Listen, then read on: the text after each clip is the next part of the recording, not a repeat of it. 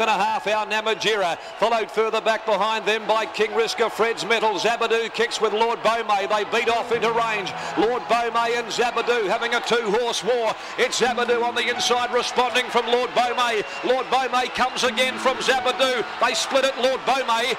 Island Four straightened in front, two lengths over Bull Durham. Dane's Mystery, here's the favourite now from Mathalo and Kenny Jack, but Dane's Mystery grabbed the lead. A hundred to go from Bull Durham going with him. It's Dane's Mystery, Bull Durham. Durham comes back. Danes Mystery, Bull Durham, Danes Mystery, Danes Mystery. 187, they've run 104.82, 104.82, and Danes Mystery has made it seven wins from 10 starts.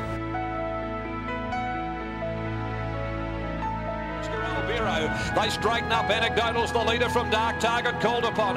Lara's theme getting up near the fence, but it's Anecdotal in front from Dark Target. Anecdotal responding. Dark Target flat as a biscuit second. Anecdotal from Dark Target. Here comes Lucina, but Anecdotal wins. Anecdotal a half length. And ladies and gentlemen, that is a new Ascot track record. And today has been broken by this very talented Lord Dane colt, Anecdotal, who carried the Heytesbury Stud colours to Straight inside the 300. Happy Shantae, the leader. His big Dane Crusher on the outside, two lengths away, was given vision. And then came Jake's sister. It's Dane Crusher and Happy Shantae in a battle royale. Happy Shantae and Dane Crusher. Dane Crusher's too strong, too powerful. And he draws away Dane Crusher. Three. Downsman is in the middle. And that expedition, which is out there wide, hand two's trying to bullock into the open. And they're followed further back behind them by Kate North, switching to the extreme outside as Denmark and races alongside of Fire from Ice and heads him off 200 out. Denmark quickly drops a gear, races more than a length. Fire from Ice, hand two, Ya Ya Lad running on, but Denmark is going to win easily. Untouched, the raps were right about him.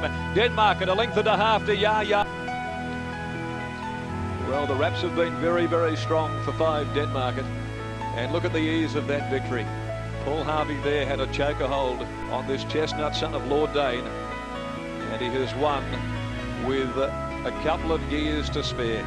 Most impressive debut. Big, but he's power packed, uh, got a lot of talent, got a really good length to stride, you know. Um, this is the first of the Lord Danes, and he's the excitement leads narrowly, no questions, being niggled at by Nucky on straightening. Going up to join them is Rip. Behind them, Denmark at two lengths, lock the vault, followed by Siesta Park. At the 300, it's hand two, leading, no questions. He's flat to the floorboards, the filly. Rip coming out after the stable, made 150 to go. Hand two's in front from Rip Denmark, and then lock the vault, no questions, can't win. Hand two in front, Rip trying hard to haul him in, and Denmark, it's coming now. Denmark had got the split, grabbed hand two on the line, and Denmark.